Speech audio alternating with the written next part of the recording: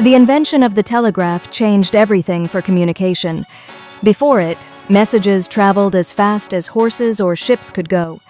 In the early 19th century, inventors dreamed of a faster way using electricity. Samuel Morse was a key player in this revolution. In 1837, he and Alfred Vail created a telegraph system that sent coded signals over wires.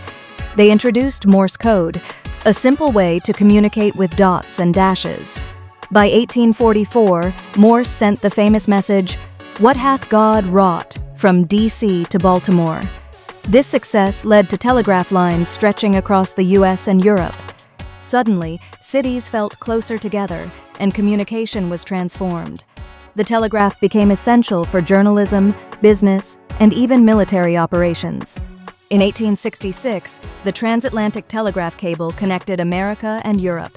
This allowed almost instant communication across continents. The telegraph set the stage for future innovations like the telephone and the internet. It truly ushered in the modern era of global communication.